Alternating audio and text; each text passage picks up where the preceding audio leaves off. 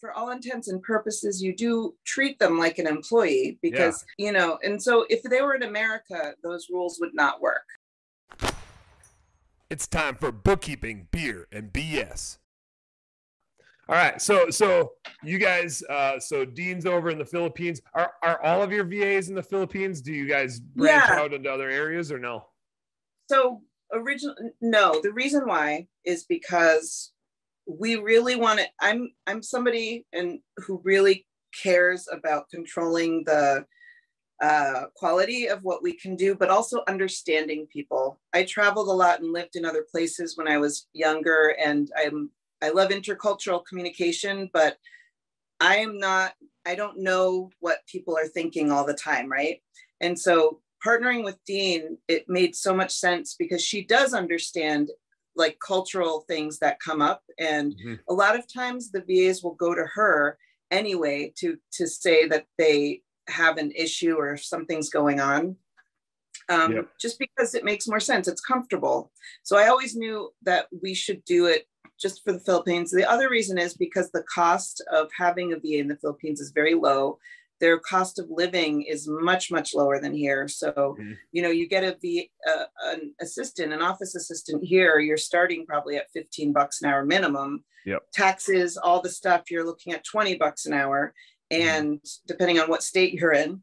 And for the philippines we say the minimum that we want people to start pe- their vas at is five dollars an hour and that's deductible. So it's not they're you know they're a contractor. So So is it um let's talk about the like the the employee setup. Are is it are they your employee? Are they the are they your clients and like once you once you They are not- them and find no. them are they purely a subcontractor? Are they employee of somebody's what's that relation what's that So- legal relationship look like?